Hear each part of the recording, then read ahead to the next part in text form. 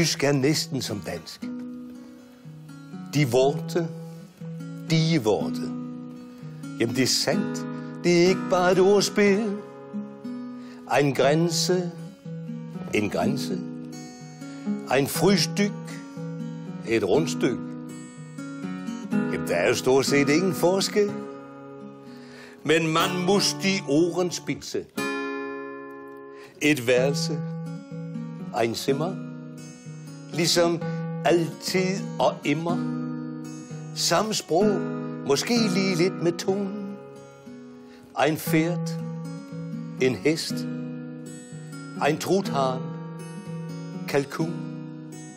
Ja, vi taler mere og mere ens i unionen. Men man muss die Ohren spitze. Vi snakker sprog, og jeg er spitsenklasse sprechstallmeister. Så tag med os sydpå med spydspids rejser. For mennesket, det stammer fra Sønderjylland, eller det gælder ikke al, men jeg gjorde i hvert fald. Og det her sprogspars, det føles som en genfødsel.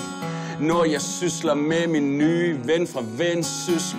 Jeg babber på det brændstof, til jeg ligger i min lige skjorte. De vorte er min die vorte.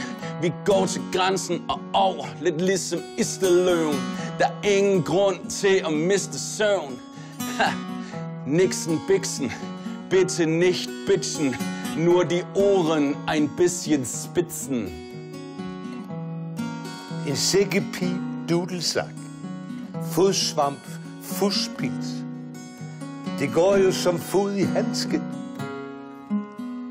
Dakkel, en gravhund. Marden, madiker. Jamen, tysk er jo stort set som det danske. Men man muss ein bisschen spitz. Man muss sein Blyant spitzen.